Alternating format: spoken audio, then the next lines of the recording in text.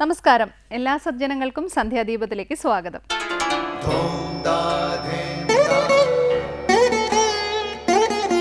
ശുഭം ഭവതു കല്യാണമായുസാരോഗ്യവർദ്ധനം.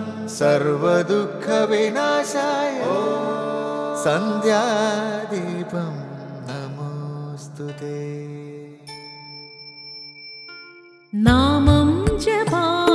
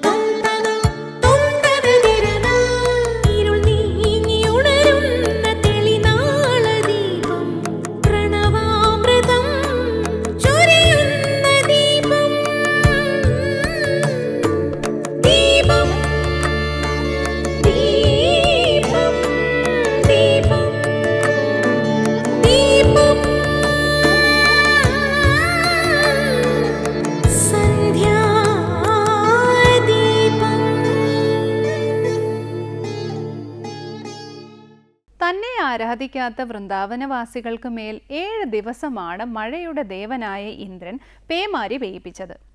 ഗോവർദ്ധന പർവതത്തെ ഉയർത്തിപ്പിടിച്ച് ഭഗവാൻ സകല ജീവരാശികളെയും സംരക്ഷിച്ചു. ഏഴ് ദിവസം തുടർച്ചയായി ഇന്ദ്രൻ ശക്തമായ മഴ പെയ്യിപ്പിച്ചിട്ടും അമ്പാടിവാസികൾക്ക് കഷ്ടപ്പാടുകളൊന്നും ഉണ്ടായില്ല.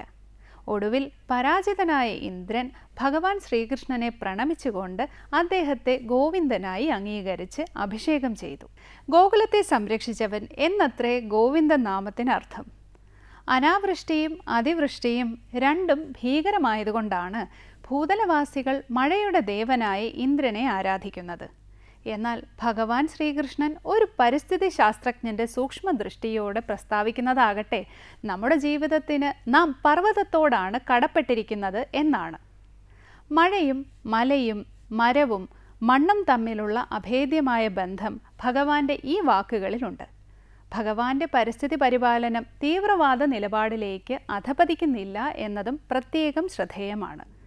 ഭഗവാൻ ശ്രീകൃഷ്ണനും ജ്യേഷ്ഠൻ ബലരാമനും ചേർന്ന് സാമൂഹ്യ വികസനത്തിന് നൽകിയ സംഭാവനകൾ കൃതജ്ഞതാപൂർവം സ്മരിക്കപ്പെടേണ്ടതുമാണ്. തുടർന്ന് ശ്രീ കാവാലം ശ്രീകുമാറിന്റെ രാമായണ പാരായണം കേൾക്കാം.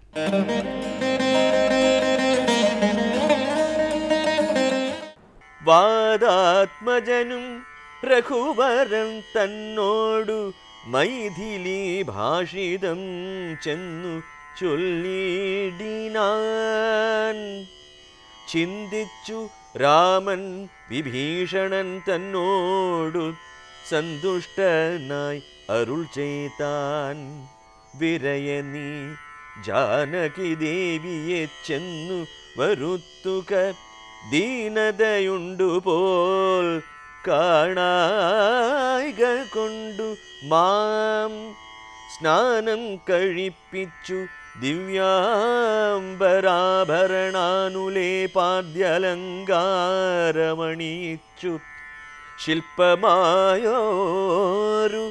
शिबिगमेलारोप्य मल्पुरो भागे वरुत्तुक सत्वरम् राम राम राम राम राम राम पाहि माम् രാമ രാമ രാമ രാമ രാമ രാമ പാഹി മാം രാമ രാമ പാഹി മാം രാമ രാമ പാഹി മാം രാമ രാമ പാഹി മാം തുടർന്ന് രാമായണ ദർശനം. സീതാവിശേഷമറിഞ്ഞ ശ്രീരാമൻ ദേവിയെ കൂട്ടിക്കൊണ്ടുവരുവാൻ വിഭീഷണനോട് പറയുന്നു. ലങ്കാധിപതിയാണ് സീതയെ അപഹരിച്ചു കൊണ്ടുവന്നത്. രാവണൻ മരിച്ചതോടെ ലങ്കാധിപതിയായ വിഭീഷണൻ സീതാദേവിയെ തിരികെ ഏൽപ്പിച്ച് പാപക്കറ കഴുകിക്കളയാനാണ് ശ്രീരാമൻ ഇങ്ങനെ പറഞ്ഞത്. ബാഹ്യമായും മലിനമായിരിക്കുന്ന സീതാദേവിയെ സ്നാനം ചെയ്യിപ്പിച്ച് പുതുവസ്ത്രങ്ങൾ ധരിപ്പിച്ച് മനോഹരമായ രഥത്തിൽ കൊണ്ടുവരുവാൻ വിഭീഷണനോട് പറയുന്ന ഭാഗമാണ് ഇന്ന് രാമായണ ദർശനത്തിൽ സ്വാമി ചിദാനന്ദപുരി വിവരിക്കുന്നത്.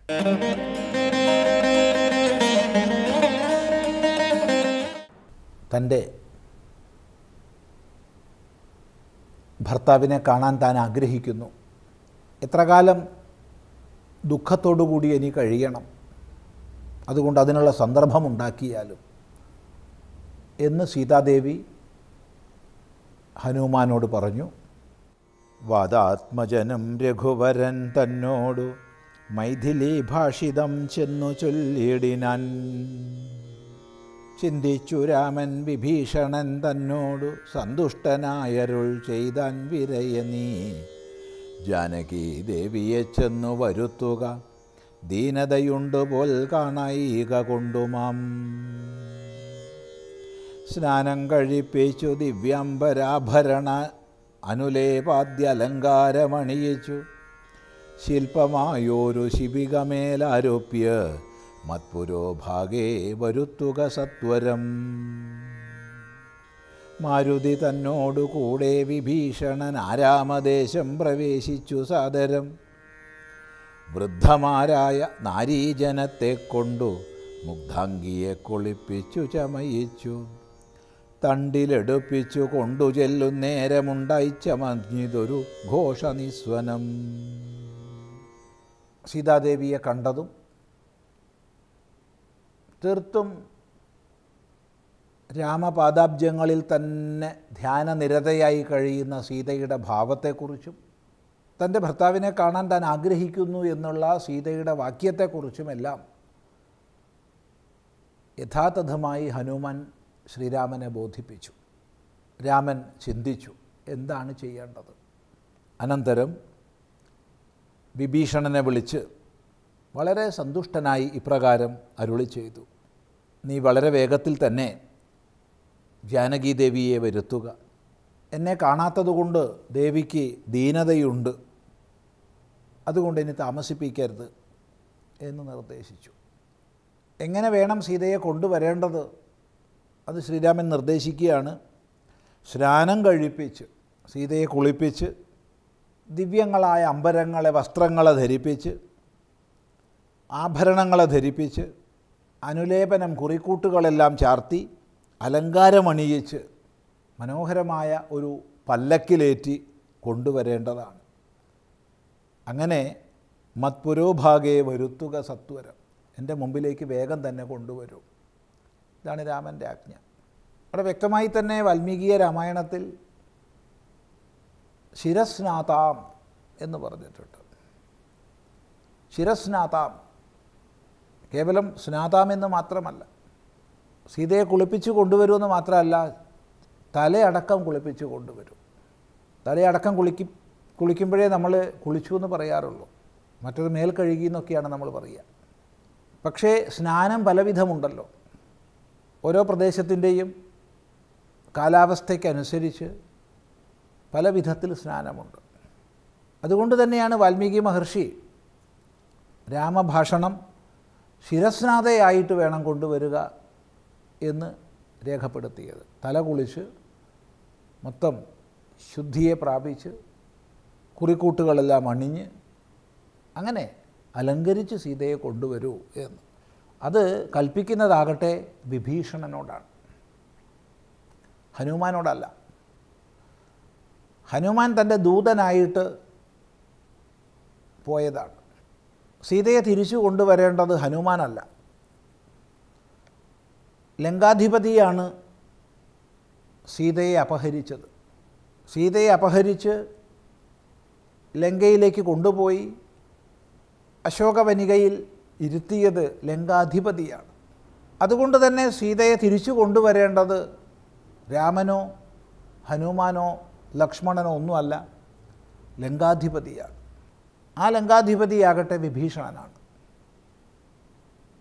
അതുകൊണ്ട് സീതയെ കൊണ്ടുവരാൻ കൽപ്പിക്കുന്നത് വിഭീഷണനോടാണ്. അത് ശ്രദ്ധിക്കേണ്ടതാണ്. ഇവിടെയൊക്കെ തന്നെ ധർമ്മമര്യാദകൾ അതോടൊപ്പം കരുത്തിന്റെ ഭാവം. കരുത്തുറ്റൊരാളുടെ ചെയ്തി എങ്ങനെയാണെന്നുള്ളത്. ഇതെല്ലാം സുസ്പഷ്ടമാണ്. അല്ലാത്ത പക്ഷം തന്റെ കൂട്ടത്തിൽ ഏറ്റവും വലിയ പണ്ഡിതനും ഇതിനകം സീതയുടെ വിശ്വാസം ആർജിച്ചവനുമായ ഹനുമാനോട് തന്നെ പറഞ്ഞാൽ മതിയായിരുന്നു രാമന്. ഹനുമാൻ സീതയെ കൊണ്ടുവരൂ കുളിച്ചിട്ട് വരാൻ പറയൂ എന്നാവശ്യപ്പെട്ടാൽ മതിയായിരുന്നു. പക്ഷേ സീതയുടെ ദുഃഖത്തിന് മുഴുവൻ കാരണമായി തീർന്നത് ലങ്കാധിപതിയാണ്. ആ ലങ്കാധിപതിയുടെ ചെയ്തിയുടെ ദോഷം ലങ്കയിൽ ശേഷിക്കരുത്. ആ പാപത്തിന്റെ ശേഷം അവിടെ ഉണ്ടാവരുത്. അതുകൊണ്ട് തന്നെ അത്യന്ത ദുഃഖിതയായി ദീനയും മലിനയുമായിട്ടാണ് സീത ഇരിക്കുന്നത്. പല സന്ദർഭങ്ങളിലും വാൽമീകി മഹർഷി ദീന മലിന തുടങ്ങിയ വാക്കുകൾ ഉപയോഗിച്ചിട്ടുണ്ട്. അങ്ങേയറ്റം പരിശുദ്ധമായ അന്ധകരണത്തോടു കൂടിയ സീത എങ്ങനെ മലിനയാകും? ബാഹ്യമായ അഴുക്ക് പിടിച്ചവളാണ്. കുളിയില്ല ദേഹശുദ്ധി വരുത്തുന്നില്ല. രാമരാമ എന്ന് ചിന്തിച്ചുകൊണ്ട് പൊടിയിലും കാറ്റിലും മണ്ണിലും ഇരിക്കുകയാണ്. അതുകൊണ്ട് തന്നെ സീതയെ കുളിപ്പിച്ച് അംഗരാഗങ്ങൾ അണിയിച്ച് കൊണ്ടുവരേണ്ടത് ലങ്കാധിപതിയുടെ ചുമതലയാണ്. അതുകൊണ്ട് രാമൻ വിഭീഷണനോട് കൽപ്പിക്കുന്നു. തുടർന്നുള്ള ഭാഗം നമുക്ക് ശ്രദ്ധിക്കാം അടുത്ത പ്രാവശ്യം.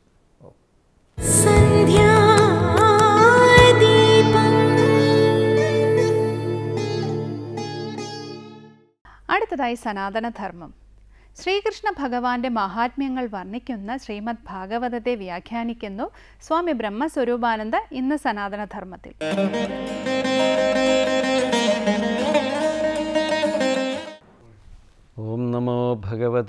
വാസുദേവായ പൃഥുചക്രവർത്തിയുടെ വാക്കുകൾ കേട്ട വിഷ്ണു ഭഗവാൻ ശ്രീഹരി ഭഗവാൻ വളരെ സന്തുഷ്ടനായിട്ട്. കാര്യം വരങ്ങളൊന്നും ചോദിക്കാതെ എപ്പോഴും ഒരു പിതാവിന്റെ ഹിതം പോലെ പുത്രനെ സംരക്ഷിക്കണം അതുപോലെ ഭക്തനെ സംരക്ഷിക്കണമെന്നാണ് പ്രാർത്ഥിച്ചതെങ്കിൽ പറയുകയാണ് വിഷ്ണു ഭഗവാൻ പറയുക ഏകഹ ശുദ്ധ സ്വയം ജ്യോതിർ നിർഗുണോസോ ഗുണാശ്രയ സർവഗോ അനാവൃതസാക്ഷി നിരാത്മാ ആത്മാത്മന പര പറയുകയാണ് ഇവിടെ ആത്മാവ്. ആത്മാവെന്ന് പറയുന്നത് ഏക ഒരുവൻ ശുദ്ധമാലിന്യ മാലിന്യമില്ലാത്തവൻ. ശുദ്ധനായിരിക്കുന്നവൻ മാലിന്യം ഇല്ലാത്തവനായിരിക്കുക. ആത്മാവ് ഏകം ഒന്നാണ്. അത് ശുദ്ധ മാലിന്യമൊന്നും ഇല്ലാത്ത ശുദ്ധമാണ് ആത്മാവ്. നമ്മളെല്ലാവരും ധരിച്ചു വച്ചിരിക്കുന്നത് നമ്മുടെ ശുദ്ധമായ ആത്മാവിനെ നമ്മൾ ധരിച്ചു വച്ചിരിക്കുന്ന ശരീരത്തിനോട് താതാത്മ്യം പ്രാപിച്ചുകൊണ്ട് ആത്മാവിന് അശുദ്ധിയൊക്കെ കൽപ്പിച്ചു വച്ചിരിക്കുകയാണ്.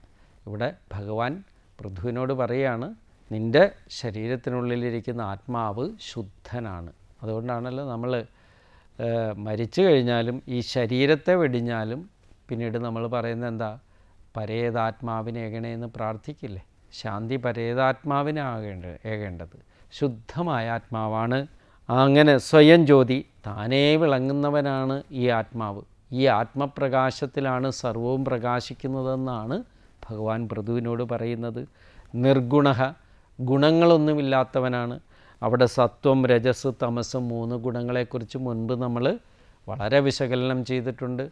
ആ ആവിധ ഗുണങ്ങളൊന്നുമില്ലാത്തതാണ് നിന്നിലുള്ള ആത്മാവെന്ന് പറയുന്നത്.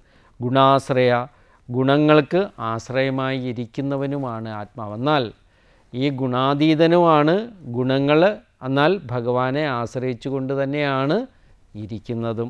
അതുപോലെ സർവക എല്ലാ ദിക്കിലും വ്യാപിച്ചവനാണ് ഭഗവാൻ ഈ ആത്മാവെന്ന് പറയുന്നത്.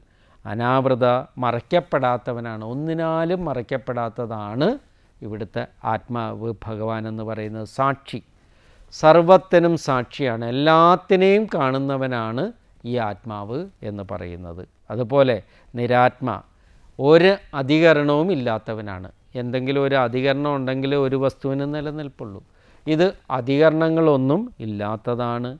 ആത്മന ദേഹത്തിൽ നിന്നും പരഹ അന്യനാണ്. ഈ ശരീരത്തിൽ നിന്ന് അന്യനായിരിക്കുന്നതാണ് നമ്മുടെ ഉള്ളിലുള്ള ആത്മാവ് എന്ന് പറയുന്നത്. അതായത് ദേഹാഭിമാനിയായിരിക്കുന്ന ആത്മാവ് ആരാകുന്നു എന്നുള്ള ചോദ്യത്തിനാണ് ഭഗവാൻ ഇവിടെ ഉത്തരം നൽകുന്നത്. ഇവിടെ ആകാംക്ഷയെ സമാധാനിപ്പിച്ചിട്ട് പറയുകയാണ് ദേഹത്തിനും ആത്മാവിനും എന്തൊക്കെ വ്യത്യാസങ്ങളുണ്ടെന്ന് ഇവിടെ എടുത്തു കാണിച്ചു കഴിഞ്ഞു. ആത്മാവെന്ന് പറയുന്നത് ഏകനാണെന്ന് പറഞ്ഞു. ആത്മാവ് ഒന്നാണ്. ശരീരം എന്ന് പറയുന്നതോ ഒരുപാടുണ്ട്. ശരീരം അനേകമാണ്. ആത്മാവ് ഒന്ന് മാത്രമേ ഉള്ളൂ. നമ്മൾ കുറേ പേര് കൂടിയിരിക്കുന്നിടത്ത് അവിടെ എല്ലാം കാണുന്ന ആത്മാവൊന്നും ശരീരം അനേകമാണ്. ഒരാളും മരിച്ചു കഴിയുമ്പം ഗോവിന്ദൻ മരിച്ചു അല്ല ഗോപാൽ മരിച്ചു എന്ന് പറയുന്നെങ്കിൽ കൂടിയും നമ്മൾ ശരീരം ജഡശരീരം എപ്പോഴാണ് എടുക്കുന്നതെന്നാണ് നമ്മൾ ചോദിക്കുന്നത്. അവിടെ ആത്മാവിനെ മാത്രമേ അവിടെ സങ്കല്പിക്കാറുള്ളൂ മരിച്ചു കഴിഞ്ഞാൽ. അപ്പോൾ അങ്ങനെ ആത്മാവൊന്നും ശരീരം അനേകവുമാണ്. അനേകം ശരീരങ്ങളുണ്ട് അവിടെ ആത്മാവ് ഒന്ന് മാത്രമേ ഉള്ളൂ. ആത്മാവ് അവിടെയോ? ശുദ്ധനാണ്. ആത്മാവ് ശുദ്ധൻ. പിന്നെന്താണ്? ദേഹമോ? പഞ്ചഭൂതങ്ങളാൽ നിർമ്മിതമാണ് നമ്മുടെ ഓരോരുത്തരുടെയും ദേഹം. ഈ പഞ്ചഭൂതങ്ങളാൽ നിർമ്മിതമായിരിക്കുന്നതുകൊണ്ട് തന്നെ അത് മലിനവുമാണ്. ആത്മാവ് ശുദ്ധനാണെങ്കിലും പഞ്ചഭൂതങ്ങളാൽ നിർമ്മിതമായിരിക്കുന്ന ഈ ശരീരം എന്ന് പറഞ്ഞാൽ മലിനമാണ്. പിന്നെയോ? ആത്മാവ് സ്വയമേവ പ്രകാശിക്കുന്നതാണ്. ദേഹമോ സ്വയം പ്രകാശിക്കാത്തതാണ്. ആത്മപ്രകാശത്താൽ പ്രകാശിക്കുന്നതാണ് നമ്മുടെ ദേഹം എന്ന് പറയുന്നത്. പിന്നെയോ ദേഹം എന്ന് പറയുന്നത് ജഡമാണ്. ആത്മാവ് ഗുണങ്ങളുടെ സമ്പത്തിൽ നിന്ന് വിട്ടിരിക്കുന്നു. ദേഹമാണെങ്കിലോ ഗുണങ്ങളുടെ സംബന്ധത്തിൽ പെട്ടിരിക്കുന്നതാണ്. ഗുണകാര്യങ്ങളെ ആശ്രയിച്ചിട്ടാണ് നമ്മുടെ ദേഹമെന്ന് പറയുന്നത് ഇരിക്കുന്നതെന്ന് പറയുന്നു പിന്നെയോ ആത്മാവ് എല്ലായിടത്തും സർവത്ര പരിപൂർണനാണ് ആത്മാവെന്ന് പറയുന്നത്. ഇവിടെ ദേഹമോ പരിച്ഛിന്നമാണ്. ആത്മാവെന്ന് പറഞ്ഞാൽ മറയ്ക്കപ്പെടാത്തവനാണ്. ദേഹമോ ഭവനം വസ്ത്രം മുതലായ പദാർത്ഥങ്ങളാൽ മറയ്ക്കപ്പെടുന്നതാണ്. ശരീരം നമ്മുടെ ശരീരം ഈ ഗൃഹത്തിന്റെ ഉള്ളിലാണ് ഇരിക്കുന്നത്. അതുകൊണ്ട് ഈ ശരീരം എന്ന് പറയുന്നത് മറയ്ക്കപ്പെട്ടതാണ്. ആത്മാവിന് ഗൃഹമോ മറ്റൊന്നും കൊണ്ടല്ല. സർവവ്യാപി എന്ന് നേരത്തെ പറഞ്ഞുകൊണ്ട് എല്ലായിടത്തും നിറഞ്ഞു നിൽക്കുന്ന ആത്മാവിന് ഒന്നുകൊണ്ടാലും മറയ്ക്കപ്പെടാത്ത ഒന്നാണ് ആത്മാവെന്ന് പറയുന്നത്. അങ്ങനെ പറഞ്ഞിട്ടോ? ദേഹമോ കാണത്തക്കതായ പദാർത്ഥമാണ്. ആത്മാവോ കാണുന്നവൻ മാത്രമാണ്. എല്ലാത്തിനെയും കാണുന്ന ആത്മാവാണ്. ദേഹമോ പദാർത്ഥങ്ങളെ മാത്രമേ കാണുകയുള്ളൂ.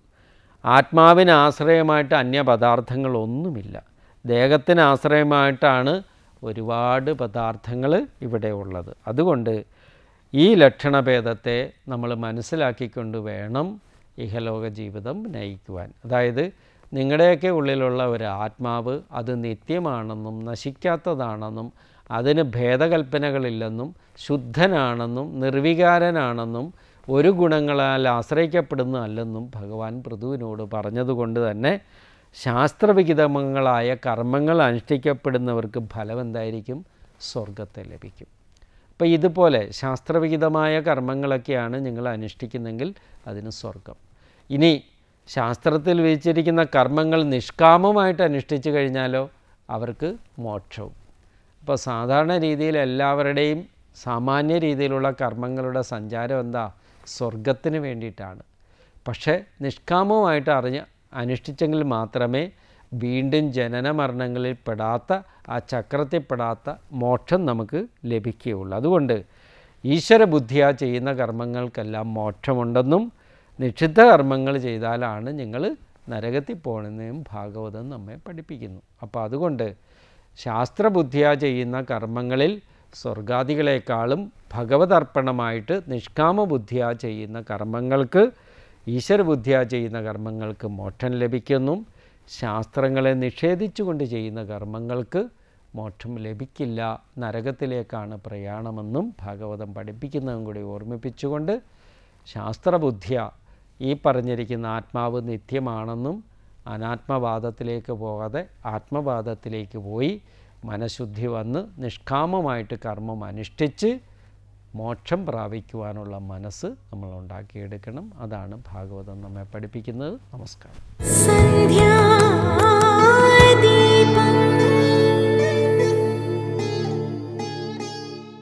അടുത്തതായി ദീപാരാധനയാണ്. ക്ഷേത്ര സന്നിധിയിലെത്തി മംഗളാരതി തൊഴുത് ഇന്നത്തേക്ക് മടങ്ങാം. എല്ലാവർക്കും നമസ്കാരം.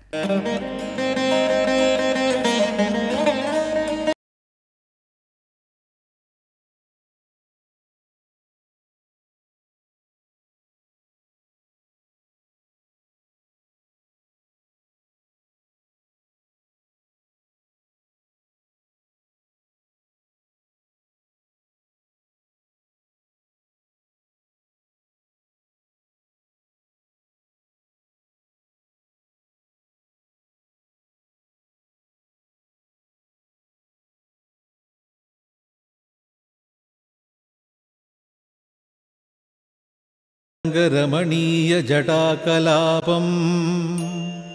गौरीनिरन्तरविभूषितवामभागम् नारायणप्रियमनङ्गमदापहारम् वाराणसीपुरपतिं भज विश्वनाथम्।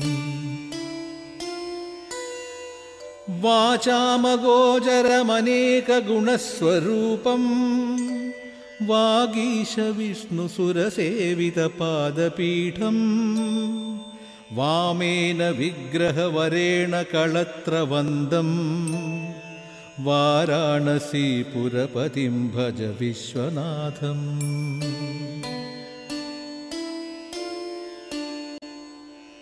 भूताधिपं भूताधिपम्भुजगभूषणभूषिताङ्गम् व्याघ्राजिनाम्बरधरं जटिलं त्रिनेत्रम् पाशाङ्गुशाभयवरप्रदशूलपाणिम् वाराणसीपुरपदिं भज विश्वनाथम्।